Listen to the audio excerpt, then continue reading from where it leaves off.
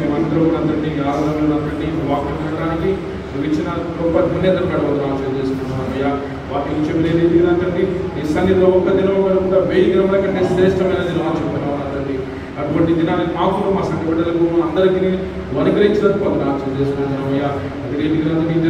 ఆత్మలో నీ యొక్క శరీరం చెరుకునేది కొంత ఆలోచన చేసుకుంటున్నాం. అయ్యా వారి ఇద్దరు నా తండ్రి ఈ ఏసీ నిజరక్షకుడు నా దేవుడు నా ప్రభు అని అంగీకరించి నా తండ్రి వారిద్దరికి నా వారిద్దరి వలన నా వారి కుటుంబాల రక్షణ పొందుకున్న విధంగా వారి గ్రామంలో రక్షణ పొందుతున్న విధంగా వారి వారు ఉన్న ప్రదేశంలో రక్షణ పొందుతున్న విధంగా నా తల్లి యాత్మ ఇద్దరిని వాడుకొచ్చినందుకు కొంత ఆలోచన చేసుకుంటున్నామయ్యా ఈ ఇక ఇక పరి ఈ దినం నుంచి నా తండ్రి చివరి వరకు నా తండ్రి ఈ దేవదూతలు రక్షణ కవచంగా బిడ్డల మీద ఉంచినందుకు కొంత ఆలోచన చేసుకుంటున్నామయ్యా యేసు రక్త నా బిడ్డల మీద ముద్రిస్తున్నాం నా తండ్రి దేవా బిడ్డలకి నా తండ్రి ఏ విషయం ఏ విషయంలో కూడా నా తండ్రి ఏ తొందరపాటు ఏ ఇబ్బందులు కలగకుండా నా తండ్రి ప్రతి విషయంలో ఏ సమస్య వచ్చినప్పటికీ ఏ శోధన వచ్చినప్పటికీ నా తండ్రి మోకాలు వేసి నా తండ్రి నా ప్రభు నా రక్షకుడు నాకు తోడుగా ఉన్నాడు. నేను ఎప్పుడు ఒంటరి కాదు అని ప్రార్థన చేసే ధైర్యము శక్తిని బలమును అనుగ్రహించుకుని ప్రార్థన చేయించినామయ్యా వారిద్దరికి మీకు సమర్పించుకొచ్చున్నాం నా తండ్రి. అదే రీతిగా నా తండ్రి ఇద్దరు వచ్చిన ప్రతి ఒక్కరిని నా తండ్రి పేరు పేరు దీవించి ఆస్వాదించినందుకు వందనాలు చేసుకుంటున్నామయ్యా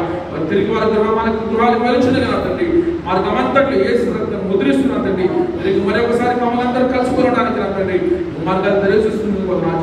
వందనాలు మేము విన్న వాక్యాన్ని నా తండ్రి. ఎప్పుడు మా ప్రభు మమ్మల్ని ఇచ్చిపెట్టిన వాక్యమును బట్టి నా తండ్రి. మమ్మల్ని మా కుటుంబాలకు రక్షణ కల్పించే విధంగా ఇంకా ప్రతి ఒక్కరి బిడ్డలు మేము ప్రార్థన చేసే శక్తిగా ప్రతి ఒక్కరిని నువ్వు ప్రేరేపిస్తున్నందుకు నీకు ఒక వందనాలు చేసుకుంటూ మరొకసారి